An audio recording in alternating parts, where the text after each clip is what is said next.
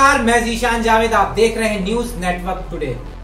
रीवा की समान पुलिस ने तीन गुना पैसा करने का लालच देकर ठगी करने वाले गिरोह के सीएमडी को प्रोटेक्शन वारंट के आधार पर रीवा लाने में सफलता पाई। सरगना पहले ही गिरफ़्तार हो चुका था। प्रोटेक्शन वारंट से लाकर पूछताछ करने पर और भी जानकारी मिल सकती है ऐसी उम्मीद समान थाना पुलिस समान थाना पुलिस ने तीन गुना ज़्यादा पैसा दिलाने का लालच देकर ठगी करने वाले गिरोह के सीएमडी को प्रोटेक्शन वारंट के आधार पर रीवा लाकर पूछताछ की प्रारंभ पुलिस को उम्मीद है उससे और भी जानकारी मिल सकती है। समान पुलिस ने जेल में बंद, ठगी के आरोपी को रीवा न्यायालय से प्रोटेक्शन वारंट लेकर छत्तीसगढ़ से धोखाधड़ी के आरोपी को रिमांड पर लिया है, जिससे पूछताछ की जाएगी। हम आपको बता दें। राकेश कुमार अहिरवार, पिता मुन्ना लाल अहिरवार, निवासी ढेढर थाना सुहागी, जिला रीवा द्वारा शिकायत की गई थी।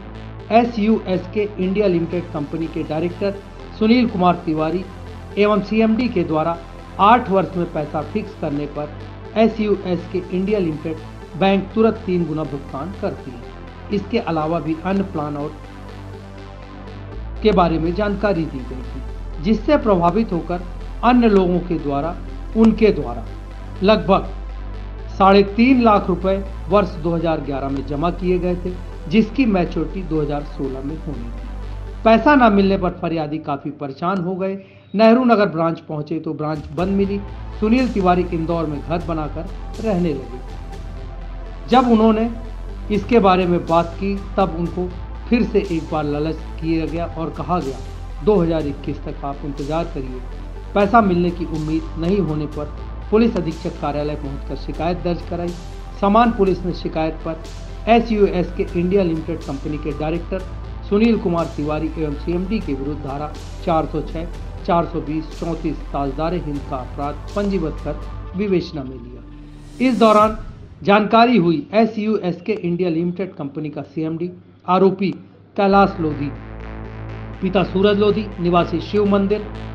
रोड शाजापुर जिला जेल धमतरी में बंद है, जिसे रिमांड में लेने के लिए न्यायालय रीवा से प्रोटेक्शन वारंट जारी कराया गया और जेल धमतरी न्यायालय के आदेशानुसार प्रोडक्शन वारंट पर छत्तीसगढ़ पुलिस द्वारा आरोपी कैलाश लोधी, पिता सूरज लोधी उम्र अंठावन वर्ष, निवासी शिव मंदिर रोड, मक्सी थाना मक्सी, जिला शाजापुर से घटना के संबंध में पूछताछ के लिए पुलिस रिमांड में लेकर रीवा पहुँची। जिससे पूछताछ कर न्यायालय में पेश किया गया। हमने समान थाना प्रभारी, निरीक्षक सुनील गुप्ता से बात की। आइए सुनाते हैं उन्होंने क्या कुछ बताया।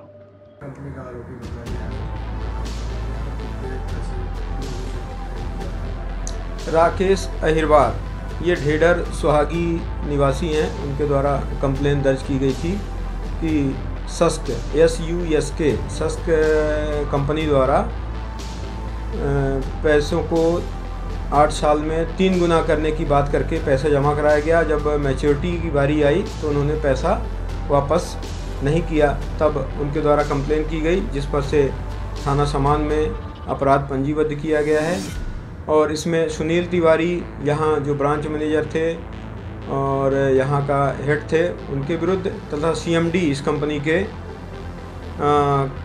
कैलाश लोधी, मक्सी थाना ज़िला शाहजहाँपुर के निवासी हैं। उनके विरुद्ध अपराध पंजीबद्ध किया गया था और कैलाश लोधी के विरुद्ध पूर्व से मध्य प्रदेश तथा छत्तीसगढ़ में छः थानों में अपराध पंजीबद्ध हैं और ये वर्तमान में धमतरी, छत्तीसगढ़ जेल में बंद थे।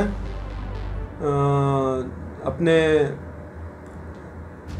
न्यायालय के माध्यम से उसका प्रोडक्शन वारंट के ज़रिए तलब किया गया और उसका पुलिस रिमांड लेके पूछताछ की गई।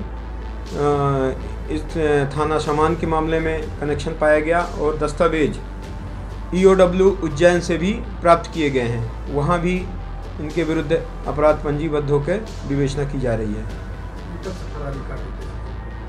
अभी थाना सामान के मामले में सुनील तिवारी की गिरफ्तारी नहीं हुई है तथा कैलाश लोधी की गिरफ्तारी हो चुकी है। और अन्य थानों में भी इनके विरुद्ध अपराध पंजीबद्ध हैं। ताज़ा तरीन खबरों के लिए न्यूज़ नेटवर्क टुडे से जुड़े रहिए, चैनल को सब्सक्राइब करिए और बेल आइकन दबाइए और देखते रहिए न्यूज़ नेटवर्क टुडे।